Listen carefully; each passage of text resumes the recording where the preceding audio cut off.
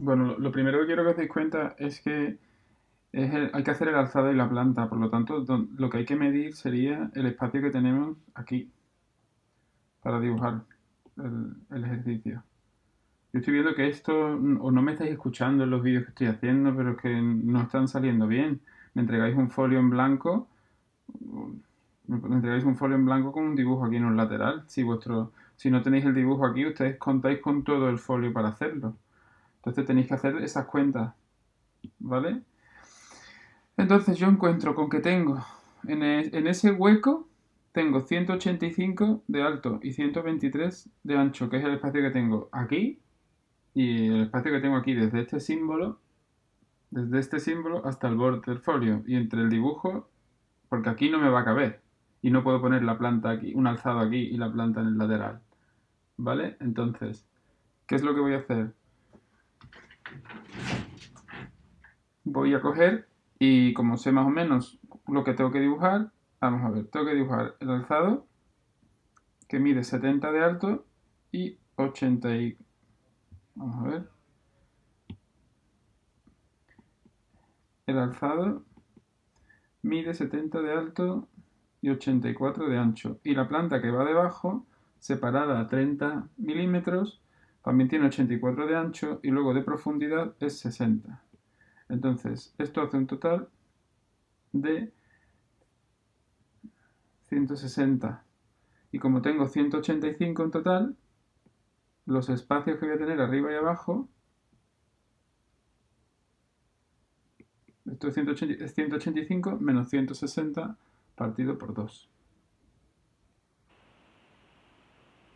Pues eso hace un espacio de 12, de 12 y medio, muy pequeño. Y ahora, en ancho, hemos dicho que de aquí al borde había 123. Si a 123 le quito eh, 84 y lo dividimos entre 2, me sale unos 19-20 centímetros. O sea que aquí voy a tener unos 20 milímetros.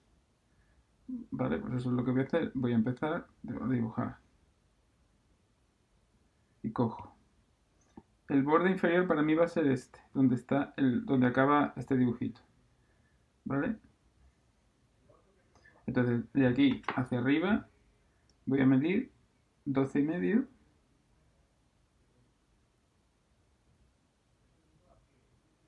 Y hacia la izquierda voy a medir 20.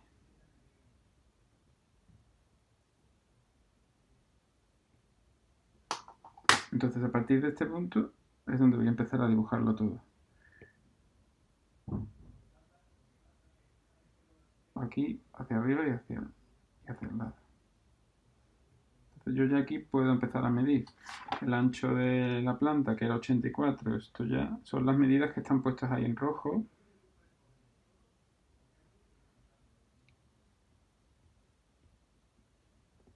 Y ahora de, de profundidad es 60.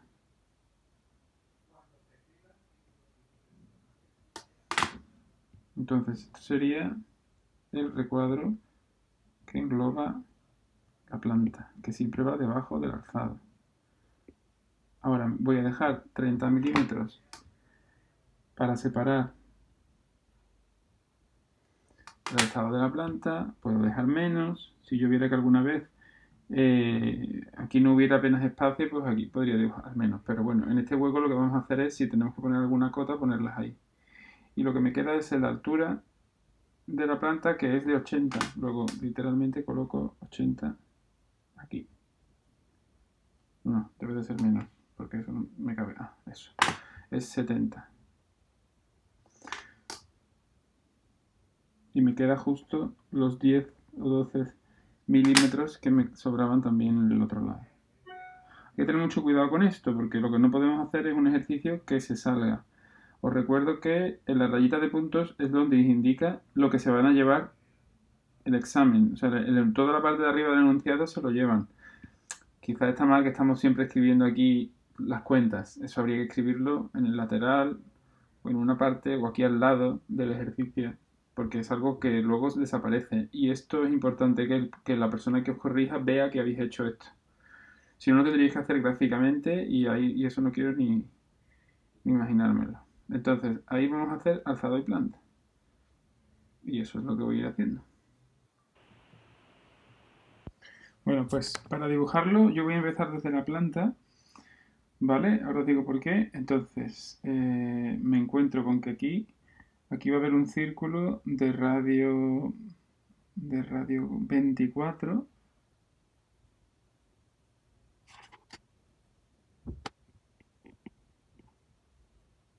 ¿vale? Ahora luego aquí hay una línea que está a 36 del extremo. Hay que intentar siempre medir las distancias totales, porque si hacemos esto nos podemos equivocar más. Vale. Y ya lo que tengo que hacer es unir esta línea con el vértice opuesto. ¿Vale? Y ahora por otro lado tenemos que hacer aquí el hueco este. Lo primero que habría que hacer es calcular la mitad. Como esto es 36, pues estará a unos... No, esto no es 36. Esto es más, esto es 60. Luego está justo a 30. Ahí hay que hacer un eje, luego hay que luego dibujarlo.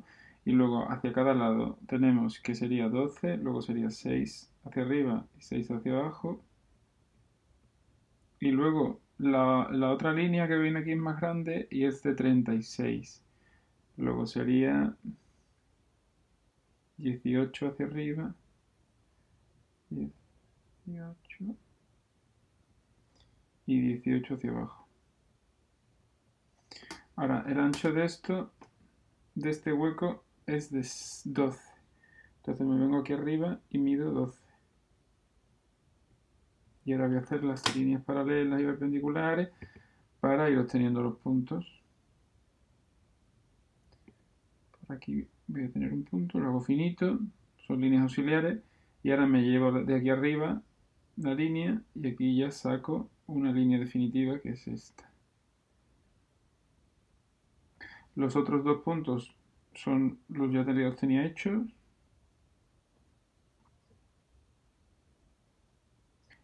y procedo a repasar. Ah, bueno, lo que me queda esta parte de aquí. Esta parte de aquí.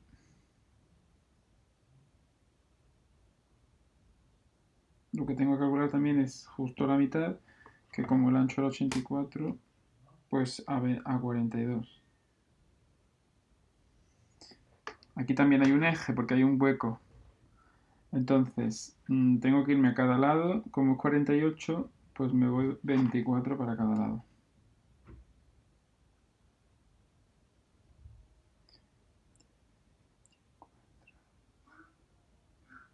Vale, y luego el hueco cilíndrico, el hueco cilíndrico tiene 12 de radio, luego cojo 12 para el lado derecho y 12 para el lado izquierdo para hacer las líneas discontinuas. Porque aquí hay un hueco que ataladra toda la figura. Entonces, termino de hacer la parte vista.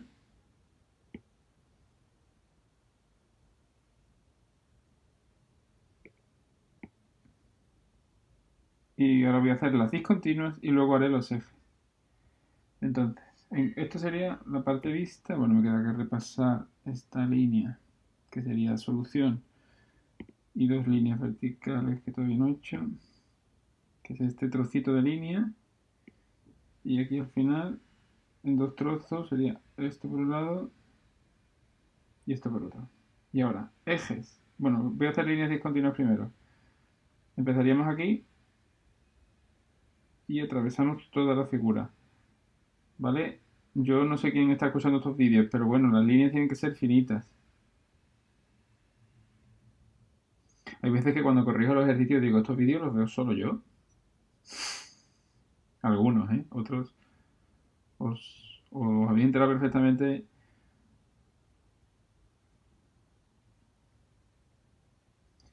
Con eso ya he hecho el hueco. Y ahora, al ser un hueco cilíndrico, tengo que dibujar el eje.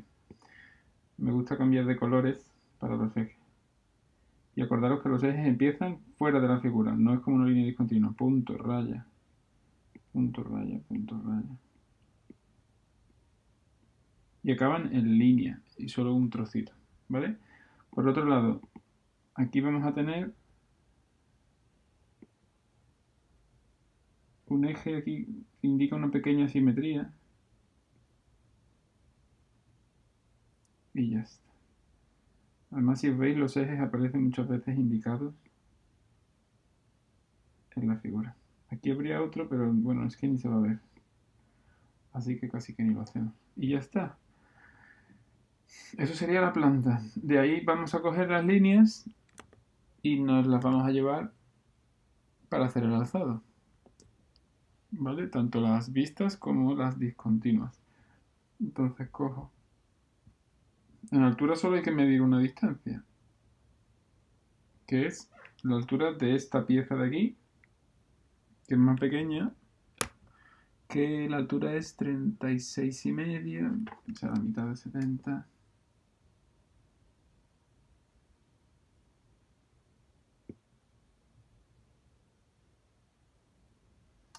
Más o menos por ahí.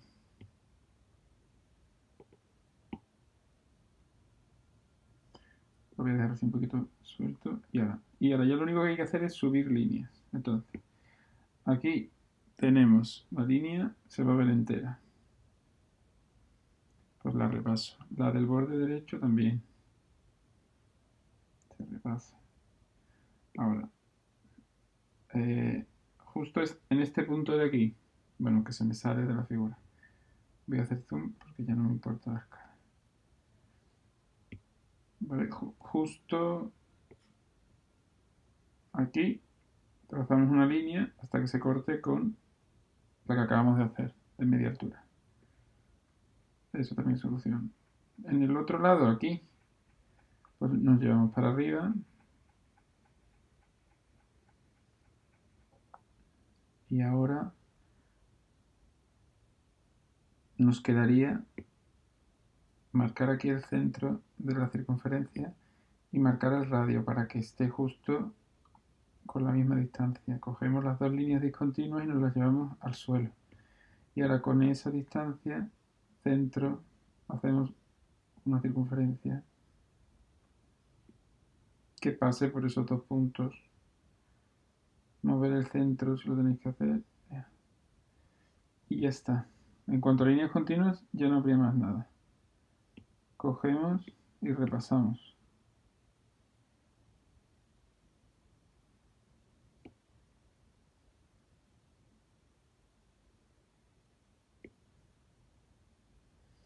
Ten cuidado que este trocito no es continuo. Ese trozo es discontinuo, entonces se tiene que notar. Quiero decir que no hay ninguna línea. He dicho discontinuo, me he equivocado.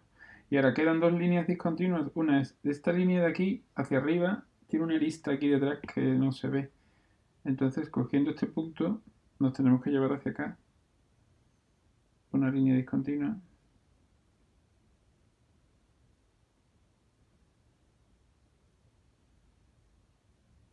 Y por otro lado, este hueco de aquí también tiene una línea discontinua aquí. Como voy a subir también el GIF de la pieza en tres dimensiones, pues ahí también lo vais a ver. ¿Qué me queda? Pues lo único que me queda son los ejes que tenemos aquí, marcando el centro. Y aquí habré que dibujar un poco un eje también. Ya está ya hemos terminado la figura. Queda acotar. Bueno, y en cuanto al acotado, he hecho aquí un pequeño esquema. Mm, fijaros que no hay mucho espacio. Aquí abajo apenas da, da sitio porque tropieza con la figura. Por eso está bien que hayamos dejado aquí el hueco. Aunque si este hueco lo hubiéramos dejado más chico, pues tendríamos más espacio abajo. Y bueno, Cosas que son curiosas, aquí veis, para acotar este trozo lo he sacado aquí fuera y siempre hay que empezar con la más pequeña y luego la más grande. Los radios me permiten no tener que acotar dónde están estos puntos, porque acotando, sabiendo dónde estaría el eje, que ya lo tengo acotado aquí, pues ya sé que hacia los dos lados tengo esta medida. Entonces, pues hay una serie de líneas que no tengo que acotar, ni esta distancia, ni esta, porque ya lo tengo aquí. Y luego aquí veis que estas dos líneas no las he acotado. ¿Por qué? Pues porque salen solas. Al yo saber esta distancia, que la tengo acotada aquí arriba, en planta y tiro dos perpendiculares donde se me corten con esta línea, que sí tengo perfectamente acotada, pues hago. Entonces ya está. Voy a proceder a, a pasar eso a limpio con las medidas, ¿vale? Lo voy a hacer a cámara rápida, así que si digo algo ya pararé.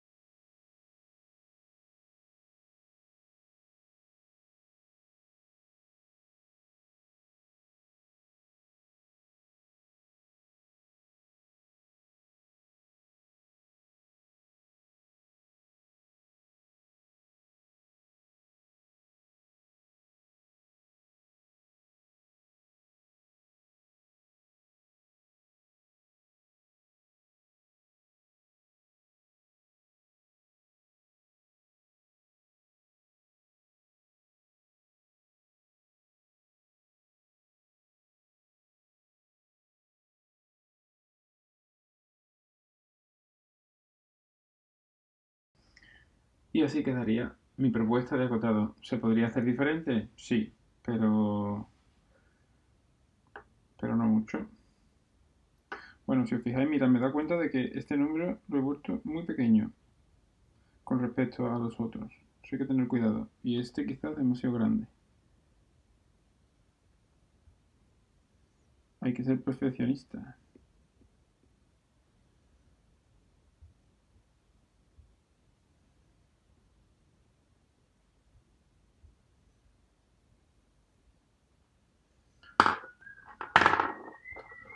Se me olvidaba. Borrar líneas auxiliares. ¿Vale? Hay que dejar el dibujo bien presentado. Y todo lo que podáis borrar. Que no sean líneas ni de cota ni de presentación. Eso os pueden hacer arañar 0,1 puntos o, o perderlo.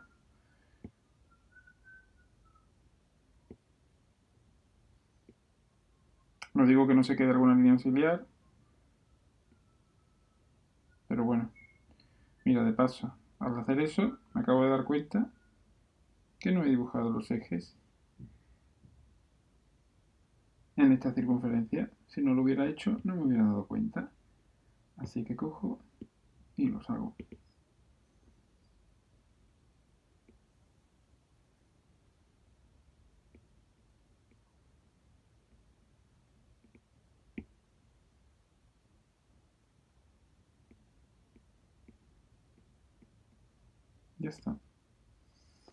Igual se me ha olvidado algo más. Aquí es muy difícil. Como veis, a todos se nos olvidan cosas. Pues ahí lo dejo.